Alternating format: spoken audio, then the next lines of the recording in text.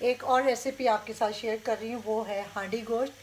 तो चले, मैं दिखाती हूँ इसके इंग्रेडिएंट्स ये गोश्त है इसमें मैंने डाल दिया ये हांडी गोश्त है तो हांडी गोश्त, लेकिन ये हांडी में नहीं है। ये नॉर्मल पैन में है क्योंकि मेरे पास हांडी नहीं है तो मजबूरी। अब बनाना तो है। चले, मैंने पैन ऑन कर लिया है और इसमें देखें मैं क्या इंग्रेडिएंट्स क्या क्या इसमें डाल रही हूँ। जी तो इंग्रेडिएंट्स इसके देखें। ये चार बड़े टमाटर हैं और ये दो प्याज है। ऐसे मोटे मोटे रफ काट के इसमें डालने और जिंजर गार्लिक ये मेरे पास पेस्ट और कम हो गया था, इसलिए मैंने पानी इसमें ऐड करके तो इसमें ये डाल रही हूँ जिंजर गार्लिक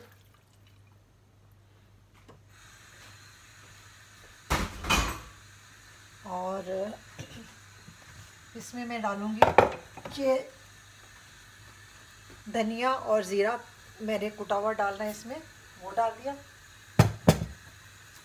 अच्छा जी ये स्पाइसेस है इसके। आ, मैंने कुटा हुआ भी ज़ीरा डाला और पाउडर फॉर्म में भी डाला है।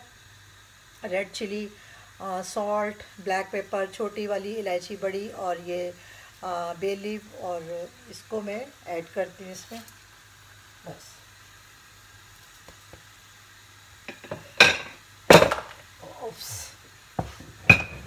जी तो इसमें ऐड करती हूँ। साथ ही मैं ऑयल ऐड करती हूँ।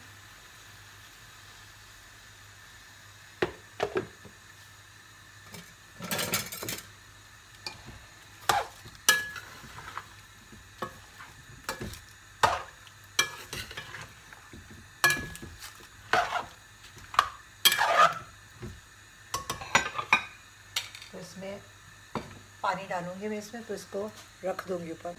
जी तो पानी मैंने अच्छा खासा ऐड किया तो ये कम होगा तो देखेंगे, अगर और ज़रूरत होगी तो फिर अदरवाइज़ इसी में हो जाएगा। इसको बहुत अच्छा गलाना होता है, बहुत ज़्यादा। तो इसको करती मैं कवर तो यह बनता रहेगा।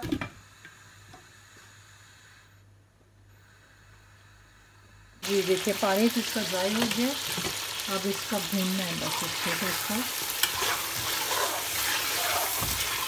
भुनाई अच्छे से होने क्योंकि ये मटन है तो इसलिए इसको बहुत अच्छे से भूनना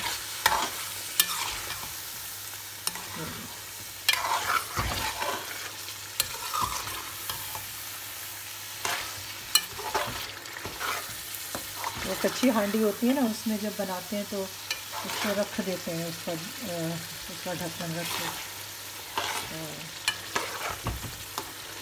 मेरे पास है, लेकिन वो ढूंढूँगी कहाँ है, लेकिन फिर उसमें एक दफ़ा फिर आप लोगों को दिखाऊँगी। हांडी वाली जो रेसिपी होती है ना, वो फिर उसमें बनाए तो अच्छा लगता है।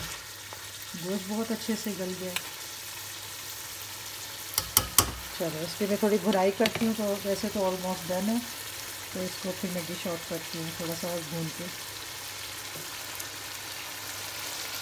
ये तो बिल्कुल रेडी हो गया इसको मैं फ्लेम को करती हूँ बंद।